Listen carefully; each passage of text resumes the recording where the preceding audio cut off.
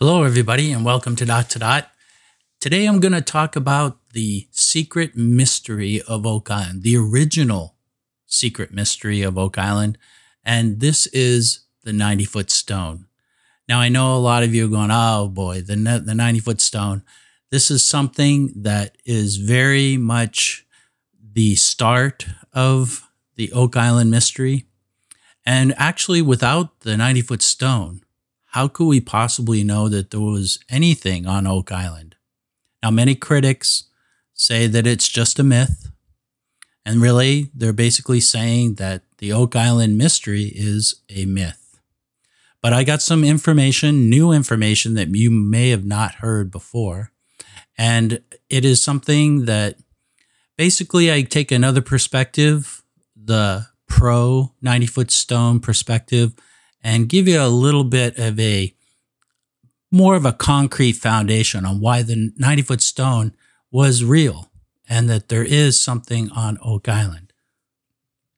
So let's start off, and I have a presentation here for you today.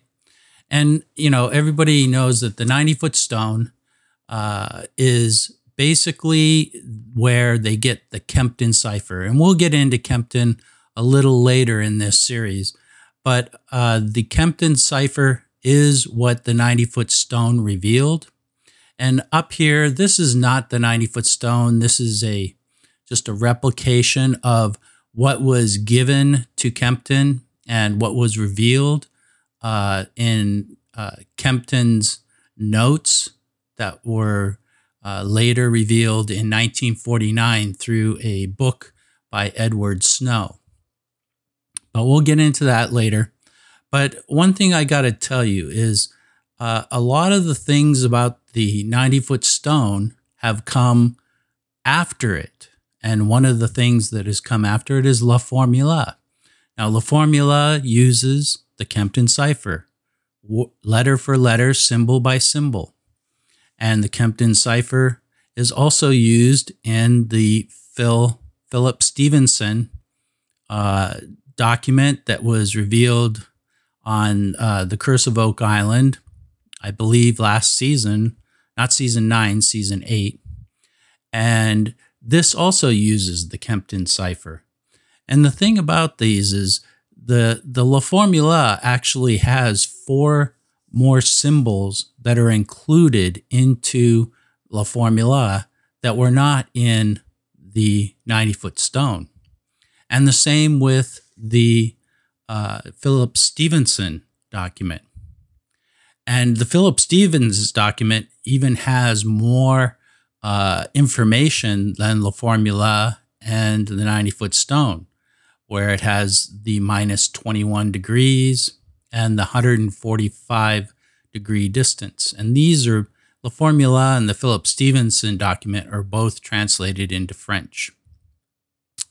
Another thing that's in common to all these are the depth of 40 feet.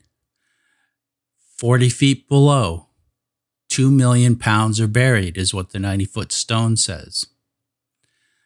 La Formula says stop, do not dig at 40 feet, at 40 feet.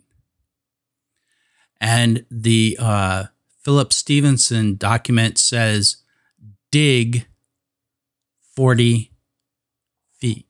And the and the feet in the two the formula in the Philip Stevenson document is actually pied, which is a pre 1668 French uh, unit of measure for a foot. So my question is, and 40 feet is very um, important in all these documents. And 40 feet is what was translated by Kempton in or revealed to us by Kempton in 1949. And it really wasn't revealed by Kempton. It was revealed by the author Edward Snow in his book. So Kempton really didn't bring this forth to the public. He just gave the information to an author. But prior to that, the translation was shown in the story of Oak Island, published in 1895, which I believe was part of the prospectus for the Oak Island Treasure Company. And it read 10 feet below. Now, this translation, 10 feet below, also appeared in a book in 1911 by an author called Payne, P A I N E. And where he got that information, most likely from the Oak Island story and the perspective. So, where did that translation come from? So, these are things that we're going to look into in this series, and we're going to uh, try and un- unravel how these translations came to light. And was the 90 foot stone real? And one of the things that we can um, is the critics. Okay, and I'm going to give you the critical points first. First, the cr- critics say there's no physical evidence of the 90 foot stone, and that is true. There isn't. And they ask the questions: Why wasn't there any rubbings taken? Why isn't there any rip- written copies? Well, actually, there probably was, and we'll show that later. But why weren't there any photos? Well, photogra- photography was very early stages in those days, so that might be possible.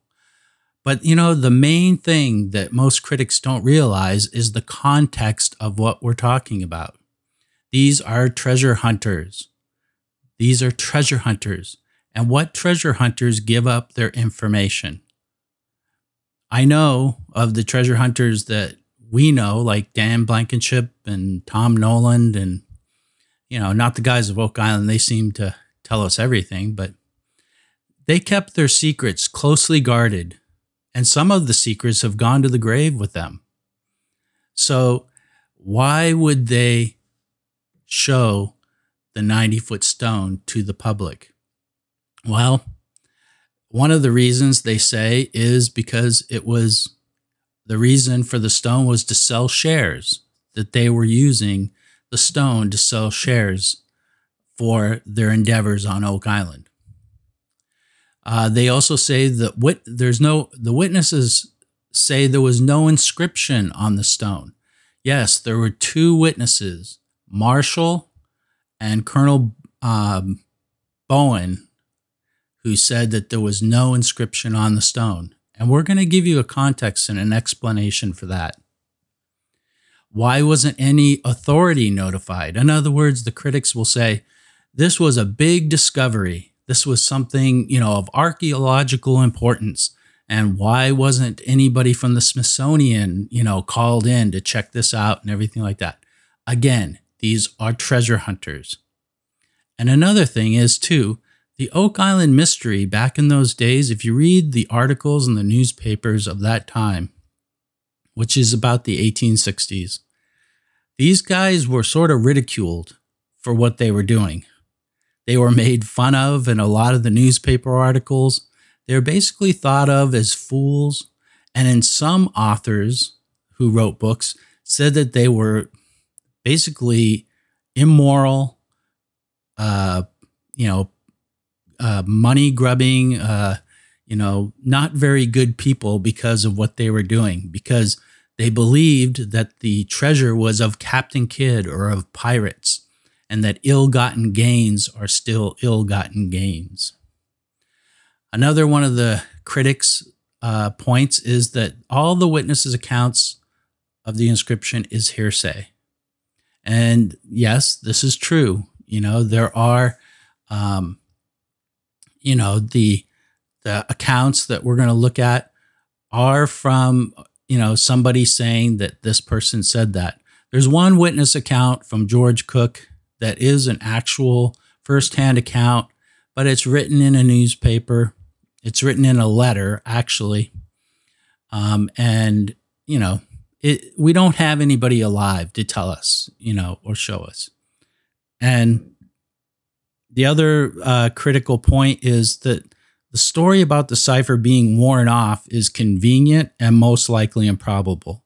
In other words, the 90 foot stone that was supposedly in a bookstore that for a long time called Creighton's Bookstore, and they went there on the Curse of Oak Island and supposedly found that stone. And they say that, you know, it, it wasn't ever uh, a, if there was an inscription on it, uh, it's just very convenient that there isn't one now. And there are a lot of variations in the description and the accounts that revolve around the 90 foot stone. So, you know, one of the things that I see in the basic evidence is we have these Kempton cipher. Now, if the 90 foot stone is not real, then the formula cannot be possibly real. And the Philip Stevenson would actually not be real. So if you look at this, this is La Formula. And this right here is the exact shape of what we call the Onteora schematic. Both of these are presented by, um, or were found and discovered by a person named Bill Jackson. The, this piece right here, which is the same shape as La Formula, is part of what we call the Onteora schematic, and you can see it right here in the middle.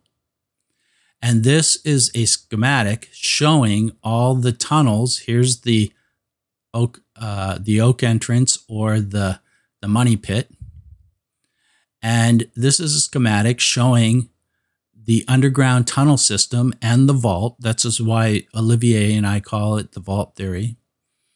And it also shows the valve and the trapdoor and the hole under the trapdoor.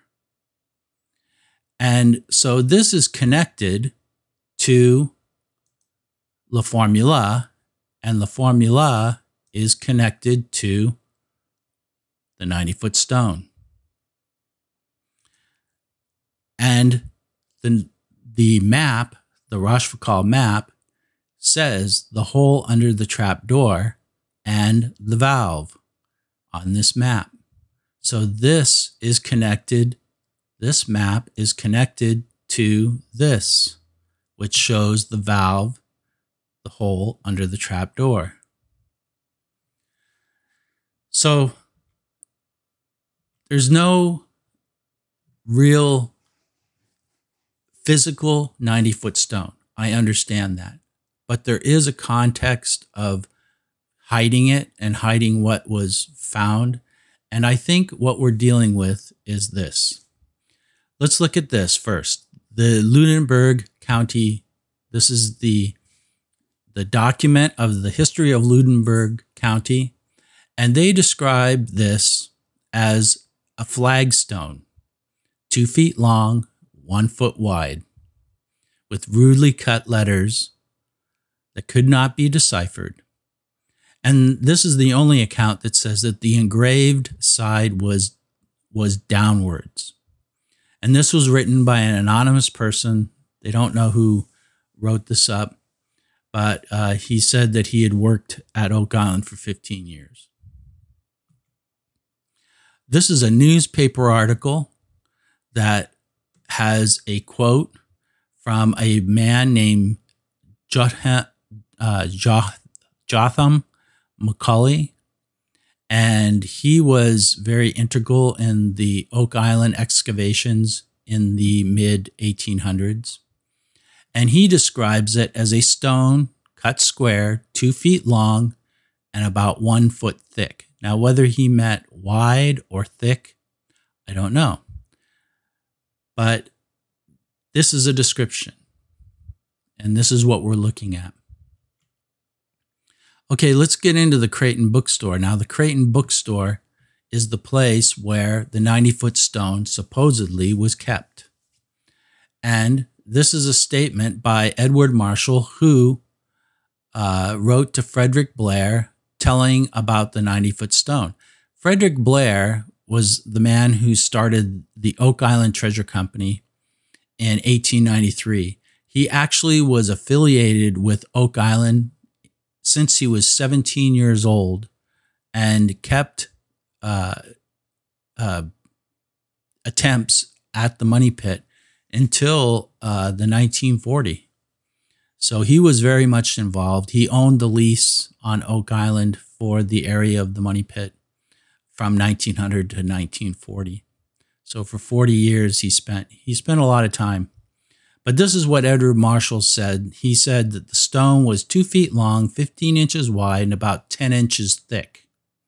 So this is a pretty big stone. And this is looks pretty much like the stone that they found on the Curse of Oak Island. I can't remember what season it was, but I find this interesting. The tradition said that it had been part of two fireplaces. They say that the corners were not squared. And here's the big thing that I think is very interesting in this is the initials JM. I think JM is Jahem Macaulay. Now, they some accounts say that it was a child, some child uh, chiseled them in, but I'm going to show you. It's pretty hard. This this stone was not easily marked. Now, Bod, uh, Bodine, Colonel Bodine, he was with the Oak Island Salvage Company in 1909. This is the one that had uh, Franklin Delano Roosevelt in it. Or uh, was it Franklin Delano? Yes. So uh, he said that there was no visible cipher and that the stone was too hard to been worn away. In other words, the account was that that the the Creighton used the stone as to beat on it beat books on it, and it, the inscription was worn away because he was beating on it. And uh, I find this story very hard to believe why Creighton would use the 90 foot stone to beat on it, especially uh, when it wasn't even found, the cipher translation wasn't even found until 1895. So, hence, this is what uh, Bodine says Hence, there was never any inscription. And he leaves the Oak Island calling it a fraud. And this is the article in which he said that. So this is the stone that is at Creighton's bookstore. This is the the description of its uh, geology, and it is a hard granite. And these these uh, rocks they do turn green when they've been exposed. And uh, it's denser than most granite. So the, the fact that this stone at Creighton's bookstore had uh, markings worn away is very improbable. And I agree with Colonel Bodine that there was never any inscription on that stone. Never any inscription on the stone in the store. So here's an interesting letter. This letter was sent to Jahem Macaulay. Now I'm going to show you a little bit about Jahem Macaulay in a minute. Jotham. And it it's from this man named Captain Thompson. and it says, I've seen Mr. Creighton and he got a telegram out. He got the telegram all right. I was speaking to him about some shares, and he said, I should have applied to you. Can you let me have five shares? If so, please make out the papers as soon as you can, and I'll be ready with the money. I will consider it as a favor if you will do this for me. So this guy really wants in. About the other affair, this is where it gets interesting. So, what are we talking about?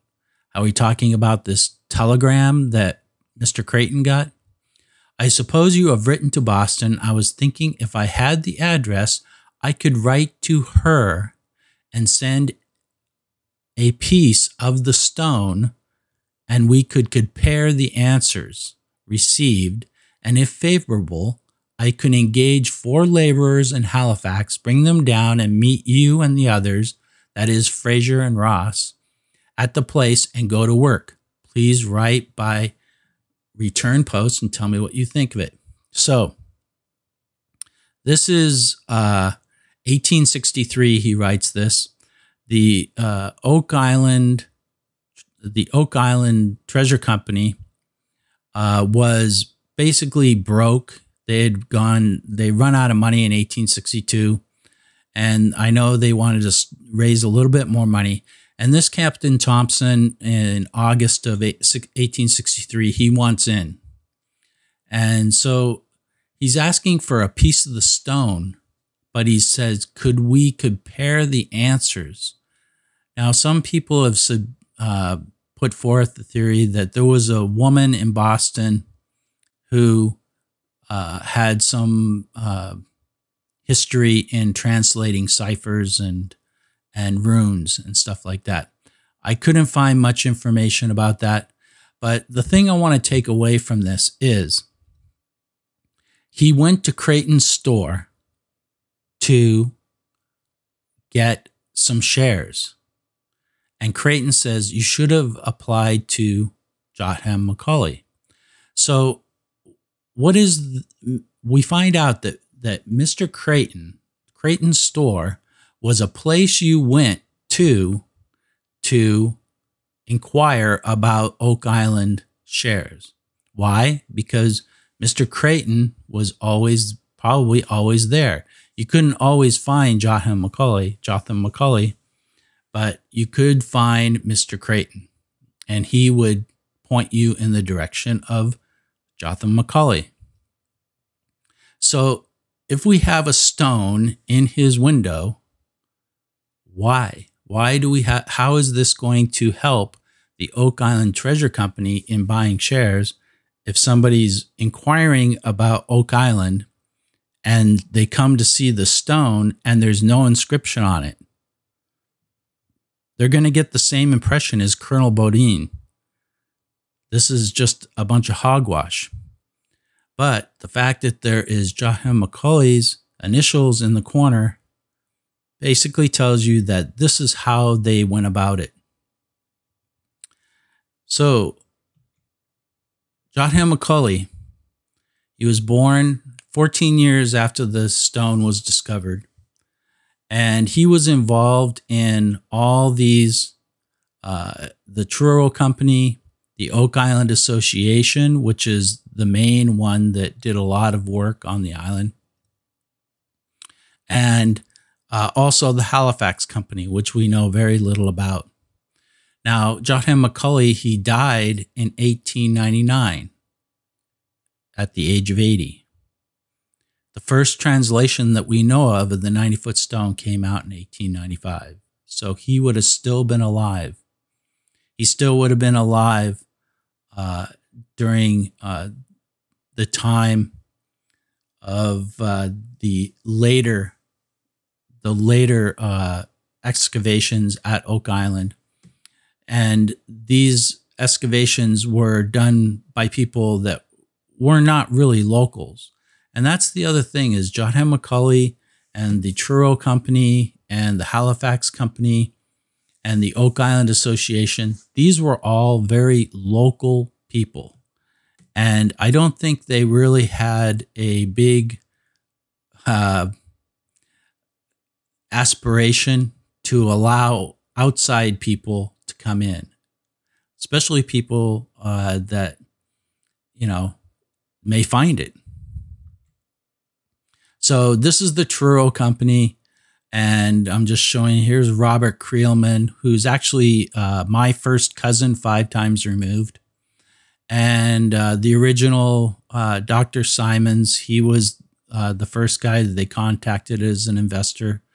Um, and so these are all the companies that Jotham Macaulay was um, working with. Now, this is the Oak Island Contract Company. No work was done on the island.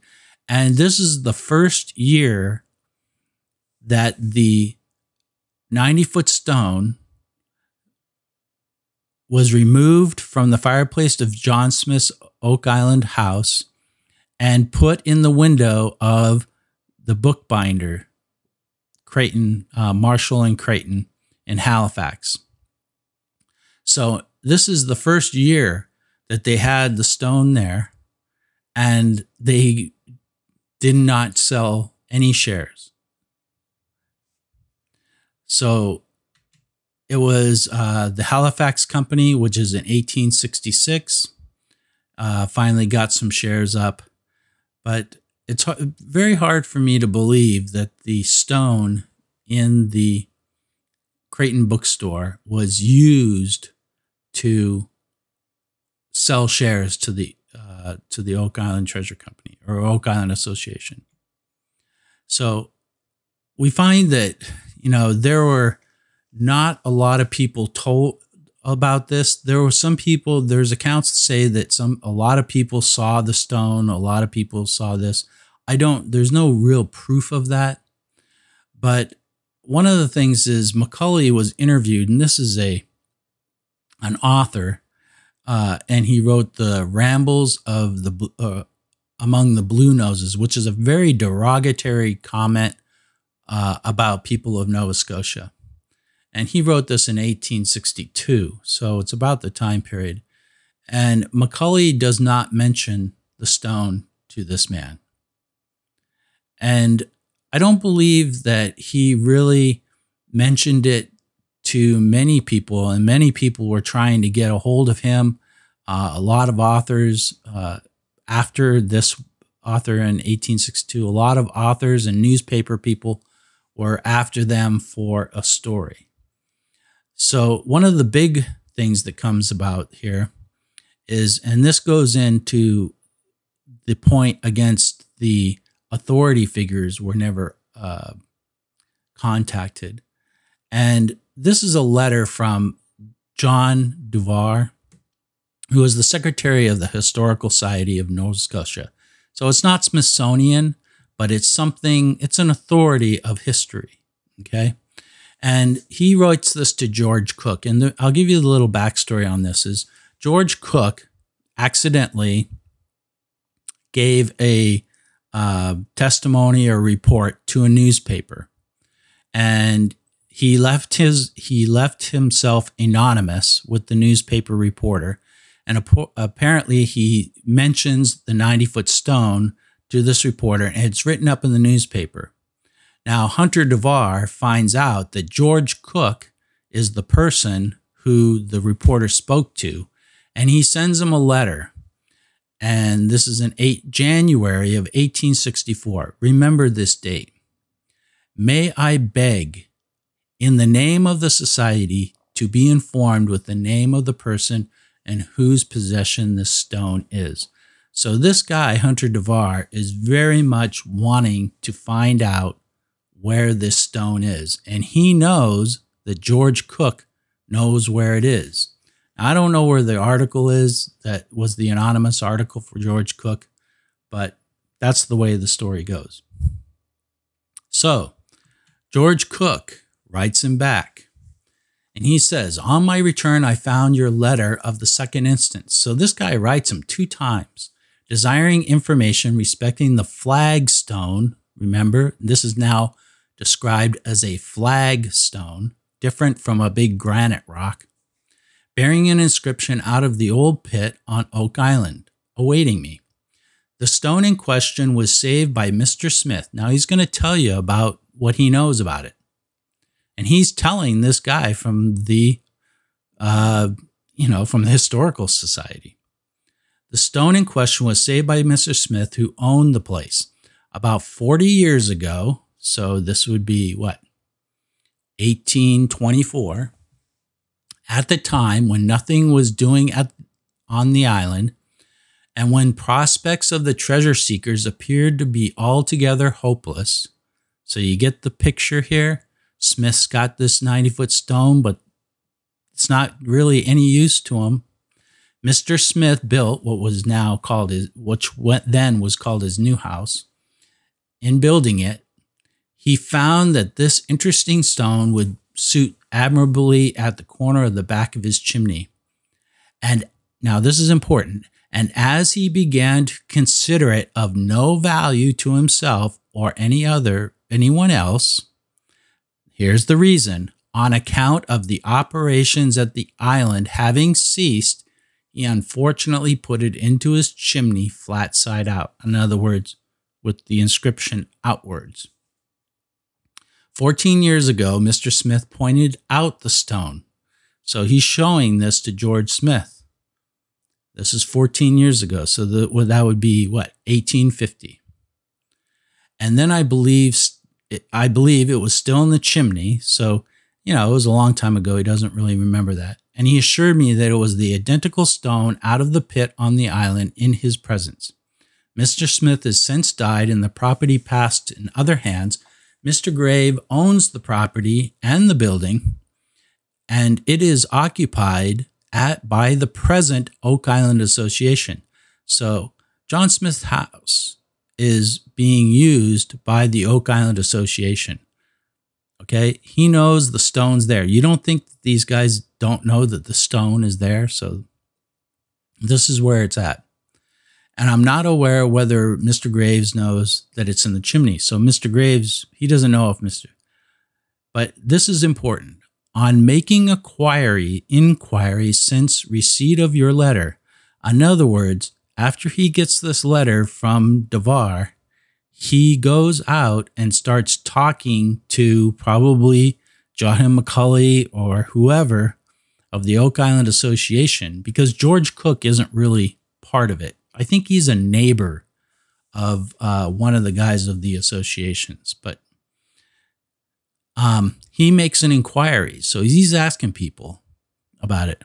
And I find that the chimney has been boxed around and by a wood partition, and that a flight of stairs goes up where the stone is inserted.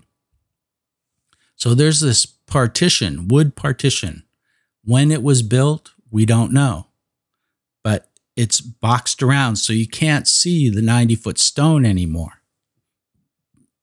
And he says, I was not aware of this before. This may prevent the stone from being got at without trouble and perhaps expense. But as it is very important for the interests of the Oak Island Association, if for no other object or reason, that the inscription on the stone be deciphered, this is why the 90 foot stone is not revealed to the public ever. They will not reveal it to the public. Whatever's in Creighton's bookstore is a decoy, it's a fake. It's something that when people find out about the 90 foot stone being in this store window, they go see it. When they go look at it, Creighton knows they're interested and he can approach them. But the 90 foot stone was never displayed in public, and I'll show you later. Okay, its position in the chimney ought not to be insuperable barrier to attempt to decipher being made. At the time I saw the stone, I noticed that there was some rudely cut letters, figures, and characters upon it. I cannot recollect which, but they appear as if they had been scraped out by a blunt instrument rather than a cut sharp one. In other words, blunt instrument. You can't cut into granite, hard granite, with a blunt instrument. You maybe can make some scratches on there, but you can't cut them out. But that's, you know, neither here nor there. But it will be, I think, uh, a point later. So, and you know, he says, you know, I'm I'm going to be your obedient servant. You know, you want to see this? It sounds like he's going to show it to him, and we're going to find out later that there's another um, testimony that is not as direct as this one. It's sort of a hearsay testimony that shows that they actually take down this partition, wood partition, to show somebody now, we don't know who they show it to, but notice also the date 1864. Okay. Note that date. Okay, here's the account. And this is written in the book of R.V. Harris, who wrote a lot of these books or, or did a lot of research, very historical research. Um, he's a very skeptical person of the 90 foot stone because he's going by the account that the 90 foot stone was in Creighton's bookstore. But here's the Oak Island Mystery, and this is written in 1958. And this account, okay, is about the partition, about uh, and also where the 90 foot stone went.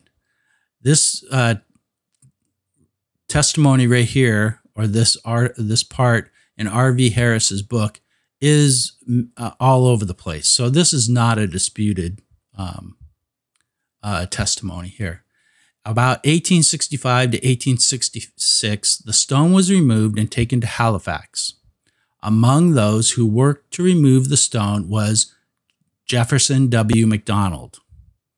And then there was a letter, and this is probably where he got it from, but uh, a letter to Frederick Blair, who was later the Oak Island Treasure, Treasure Company in 1893. He said Jefferson, uh, he knew Jefferson McDonald. He was actually on the crew with Frederick Blair, Jefferson McDonald, who was first mentioned to Oak Island to me in 1893, worked under George Mitchell, Mr. McDonald, who was a carpenter by trade, also told told uh, Blair about taking down the partition at Smith's house in order that he, with others, might examine the characters cut on the stone used in the jamb of the fireplace in the house. The characters were there all right, but no person present could decipher them. That's a quote from Jefferson McDonald. So in 1893, okay, uh, it was told to uh, Frederick Blair that McDonald went to the house to take down the partition. Now, was this for the gentleman we had mentioned before was it? Um, Duvar Hunter. Was Duvar Hunter the one that they took it down?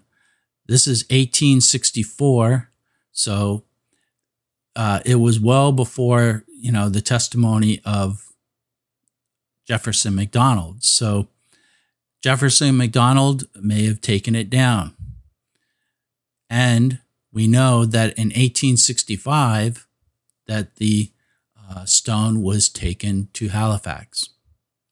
So the Oak Island Treasure Company, uh, by or the Oak Island Treasure by Charles Driscoll. This is a late uh, book written in 1929, and it describes the stone as thin, flat stone, three feet long and 16 inches wide. Now, I found out that after the translation in 1895 is revealed, it's always described as a flat stone, not necessarily thin, but a flat stone, three feet long, 16 inches wide. I believe this is the actual description of the 90 foot stone. So the testimony here is the stone was shown to everyone who visited the island that day. This talk about John Smith, who built the stone into his fireplace with the strange characters outermost so that the visitors might see and admire it. So he's saying that a lot of people went out to John Smith's house and they saw the stone. Many years after his death, the stone was removed from the fireplace and taken to Halifax where local savants were unable to translate the inscription. It was then taken to the home of J.B. Macaulay in Truro, where it was exhibited to hundreds of friends of the Macaulays who became interested in the treasure later. Now, he also goes on to say, and he says it's sort of perplexing. He, and I don't have it here, but it says, Driscoll says that it then, for some reason, ends up in the bookstore window in Halifax, where it was used to beat book bindings and the inscription was worn away. Why would they do that? That's as 1865. The translation didn't come out till 1895, 30 years after. Why would they beat on it if they didn't know what the the translation said. It's the most important thing in the money pit. and they're not using it to sell shares because they don't have anything. So, anyway, this is another, this is, uh, and we'll get into him later for the translation, but this is James DeMille. He was one of the professors at um, uh, Dalhousie College, which was also the the college that uh, Professor Lechte, who is basically the supposed translator of the 90 foot stone, also worked. But James DeMille was very much into Oak Island, hugely into Oak Island. He spent a summer there after the 90 foot stone had been removed in 1866. But I believe he saw it. He saw, and he wrote a book, Treasures of the Sea. And this is a book, uh, it's basically historical fiction. And he's writing in the uh, the first person of like a sea captain that's taking his sailors around to find treasure. And uh, but we know that he uses some things that are factual in his writing. And this is very interesting. This is an excerpt from his book. They went to work and dug away for a little distance. When they came to something hard, it was a stone hewn, not very smooth, a kind of sandstone. And on this, they saw some marks that looked like strange letters. They were ignorant men, but they knew the alphabet, and they knew that this was no kind of English letters at all, but it seemed to them that they might be letters of some strange alphabet. They took this stone away, and it's been preserved ever since, and it's there yet on the island, built into the wall of a cottage there for safekeeping.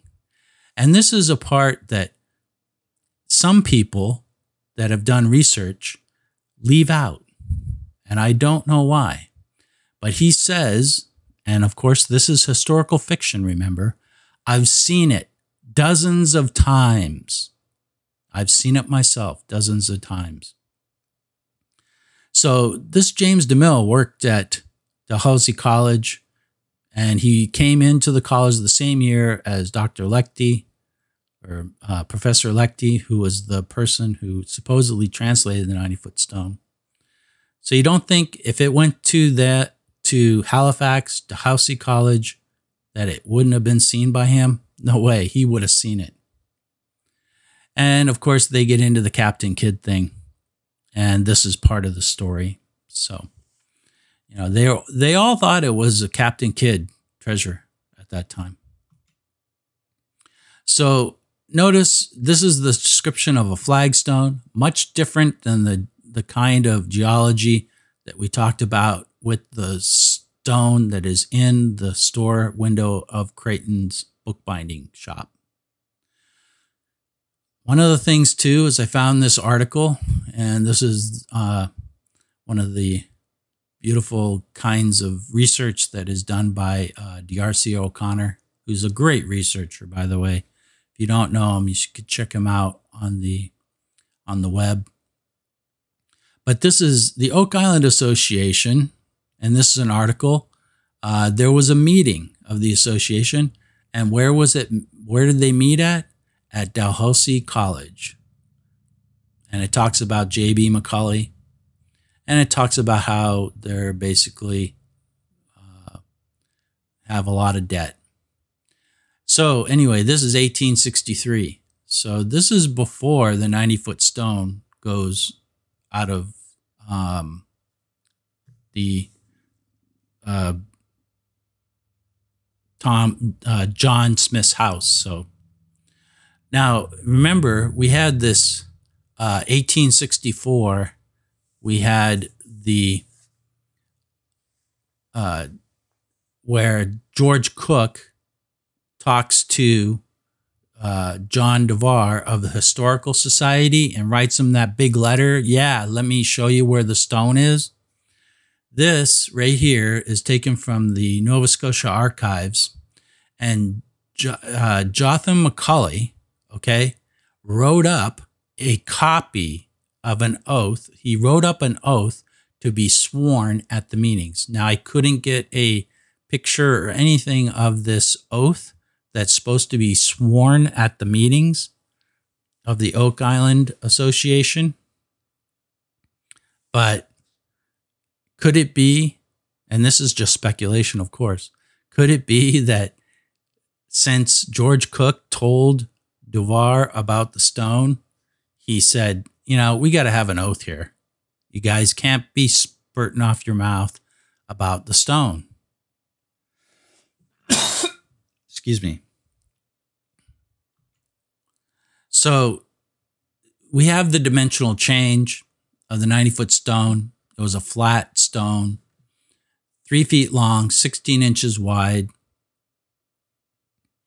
And this was in the prospectus.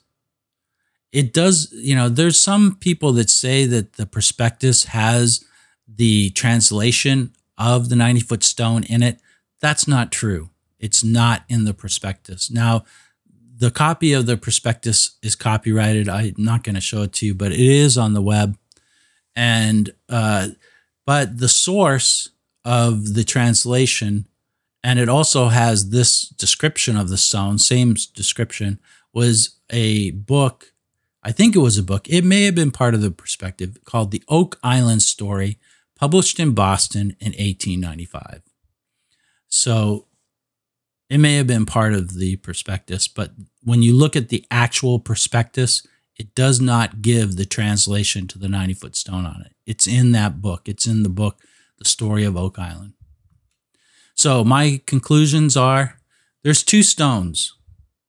The first stone was the Creighton stone. It was two feet long, 15 inches wide, and 10 inches thick.